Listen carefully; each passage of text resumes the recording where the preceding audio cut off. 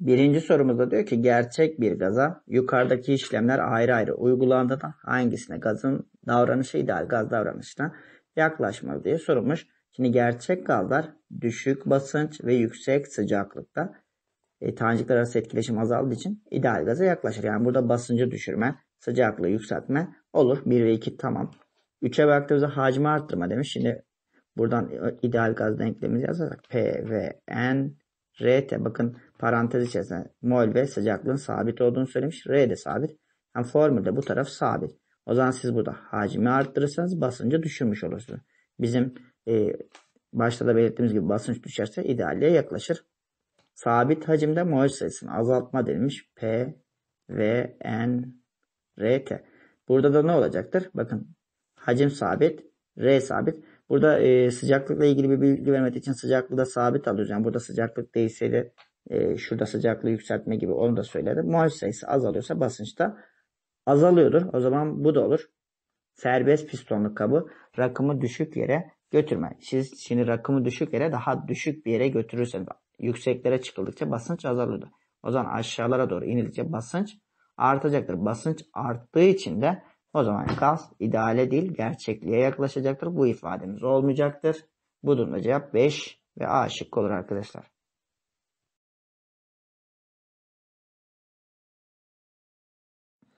İkinci sorumuzda diyor ki aşağıdaki grafik metan gazının farklı sıcaklık ve basınçlardaki ideallik eğrileridir. Buna göre aşağıdakilerden hangisi yanlıştır diye sormuş arkadaşlar. Şimdi A şıkkına baktığımızda diyor ki 1500 Kelvin sıcaklık idealle en yakın olduğu sıcaklıktır. Yani bu tarz sorularda şu sona bakarsanız şu kısım yani 1500 Kelvin evet ideal şu eğrimiz ideal eğrimizdir. En yakın olduğu sıcaklık 1500 Kelvin'dir. Zaten sıcaklık arttıkça idealliğe yaklaşır. Oradan da düşünebilirsiniz. Birinci ifademiz doğrudur. B şıkkına baktığımızda 250 Kelvin sıcaklıkta ideallikten en çok sapmaktadır. Evet idealliğe en uzak olan 250 Kelvin. Bakın önce bir gitmiş sonra yaklaşmış sonra tekrar e, uzaklaşmış. En soğuk olan da ideallikten en uzak olandır. O şekilde de düşünebilirsiniz. B şıkkı da doğrudur. C şıkkına baktığımızda 200 baktığımızda diyor ki 250 Kelvin sıcaklıkta basınç 200 atmosferin üzerine çıktıkça ideallikten sapma artar. Bakın 250 ve 200'ün olduğu nokta şurası. İdeal eğrisinin üzerinde basıncı arttırdıkça bu ideallikten uzaklaşıyor, sapıyor. Bu ifademiz de doğrudur. 250 Kelvin'den 1500 Kelvin'e sıcaklık artırırsa ideal gaz özelliği artar. Evet 250'den 1500'e gelirsek ideal eğrimize daha yakın oluruz. D şıkkı da doğrudur. Sıcaklık arttırılınca moleküller arası etkileşim artar demiş. Bu ifademiz yanlıştır. Moleküllerin kinetik enerjisi azal arttığı için moleküller arası etkileşim zayıflıyor ve idealliğe daha yakın oluyorlar. O zaman burada yanlış olan E şıkkı olacaktır.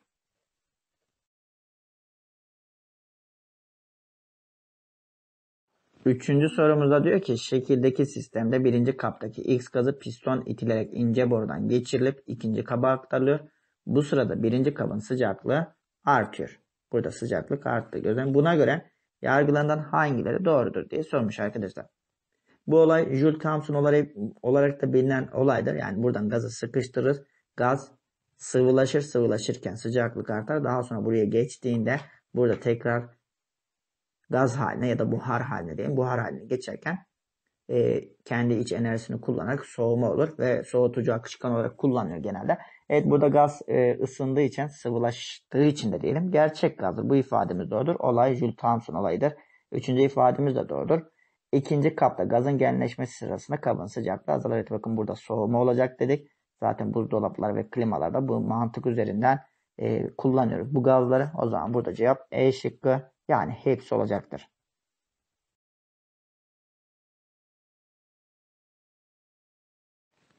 Dördüncü sorumuzda diyor ki yukarıdaki metinde boş bırakılan yerlere aşağıdakilerden hangisinin gelmesi uygun olur diye sormuş arkadaşlar. Evet birinci e, ifademize baktığımızda diyor ki her bir gaz için farklı değerde olan öyle bir sıcaklık vardır ki bu sıcaklığın üzerinde bulunan gazlar basınç uygulanarak sıvılaştırılamaz. Gazlar için ayet edici olan bu sıcaklığa ne diyorduk? Kritik sıcaklık diyorduk. Bir madde kritik sıcaklığın üstüne çıktıktan sonra ne kadar basınç uygularsak uygulayalım sıvılaşmıyordu. E, artık gaz oluyordu. Onun için birincisi kritik sıcaklık olacak. İkinci ifademize baktığımızda Diyor ki kritik sıcaklığın üzeri, değerinin üzerindeki bir sıcaklık hiçbir basınç uygulanarak sıvılaştırılamayan akışkanlar az önce de söyledik. Kritik sıcaklığın üstüne çıkarsak artık bu maddeye gaz diyoruz. İkincisi gaz olacak.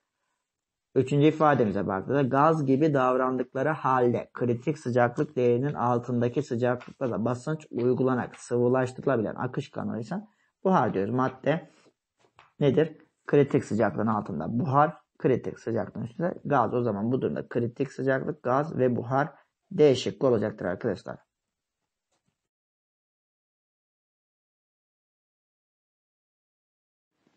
Beşinci sorumuzda diyor ki gerçek gazlarla ilgili yukarıda verilen ifadelerden hangisi yanlıştır diye sorulmuş arkadaşlar.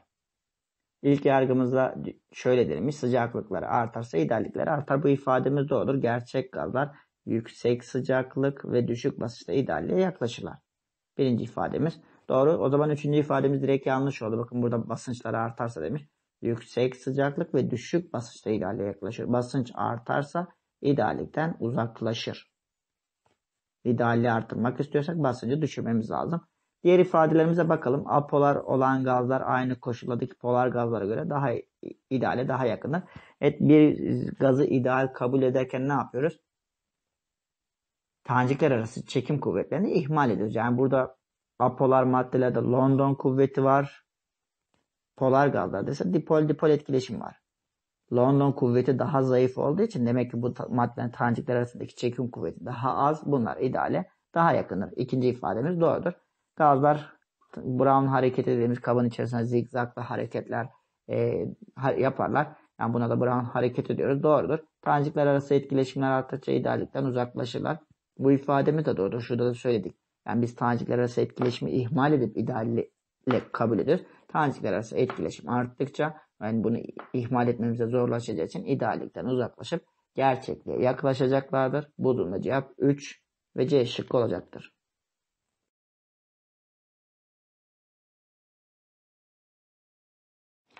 Altıncı sorumuzda diyor ki gerçek gazların tanecikler arasındaki etkileşimler arttıkça ideallikten sapma miktarları artar. Gerçek gazların basınçları ideal gaz bağıntısı PVNRT'den hesaplanan basınç değerinden daha düşük değerlere sahiptir denilmiş. Yukarıdaki tabloda yararlanarak aynı şartlardaki gazların eşit mollerinin ölçülen gerçek basınç sıralaması aşağıdakilerden hangisinde doğru verilmiştir diye sorulmuş arkadaşlar. Bakın diyor ki etkileşim arttıkça sapma miktarı artar. Yani burada en ideal olan kimdir? Şöyle dersek hidrojen bağı var. Dipol dipol ve London kuvveti var. Burada dipol dipol ve London. Burada sadece London kuvveti var. Hidrojen bağı dipol dipol ve London'dan büyük olduğu için o zaman burada etkileşimi en zayıf olan bu maddemiz. O zaman etkileşimi en zayıf olan maddemiz en ideal. Etkileşimi en fazla olan bu maddemiz ise ideallikten en uzak olacaktır. Yani şöyle söyleyeyim. Etkileşimi en fazla olan gerçekliğe en yakın olandır. Bir de diyor ki gerçek gazların basınçları ideal gaz bağıntısında hesaplanan basınç değerinden düşüktür. O zaman burada en ideal olanın yine basıncı en büyük olacaktır. Gerçek olanın basıncı daha düşük olacaktır. O zaman basınç içinde aynı sıralama çıkacaktır. Bu durumda cevap E şıkkı olacaktır arkadaşlar.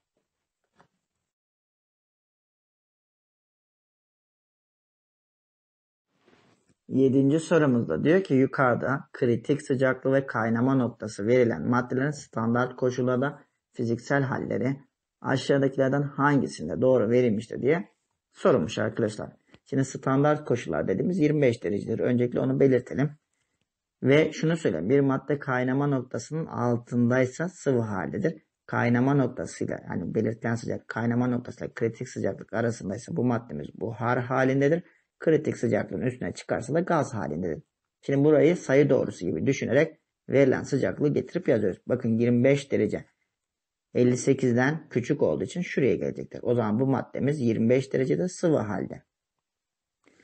Bu maddemiz için baktığımızda 25 derece eksi 33 ile 132'nin arasında olacağı için şurası bu arada olacağı için yani şu ikisinin arasındaki bir değer olacağı için bu maddemiz buhar halinde. Yine bu maddemize baktığımızda 25 derece eksi 29 ile 420 arasında olduğu için araya denk gelecektir. Bu maddemize yine buhar halindedir. O zaman şu ikisi buhar birincisi ise sıvı. Bu durumda cevap C şıkkı olur arkadaşlar.